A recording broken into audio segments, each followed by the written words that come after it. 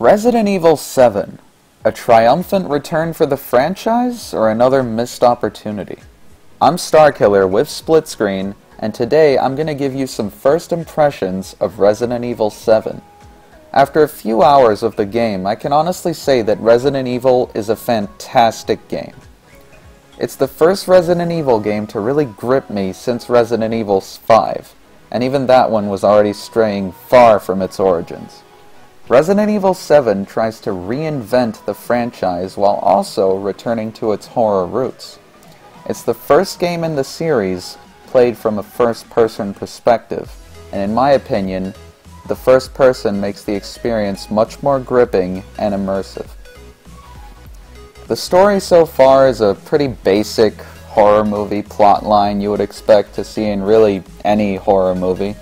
It feels very detached from previous Resident Evil stories, but that isn't necessarily a bad thing, given how bombastic the um, the plot has gotten in games like Resident Evil 6. You really had to struggle to understand what was going on.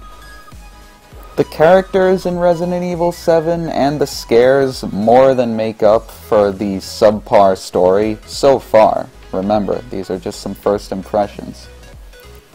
Graphically, the game is incredibly impressive running on PlayStation 4 Pro. The use of HDR and 4K makes it an absolute joy to play. The controls are tight and extremely responsive, unlike most games in the series. You never feel like you're clunky and disjointed. Usually in Resident Evil games, half of the time you die, it's because you just couldn't turn around quick enough or you were struggling to get down that ladder.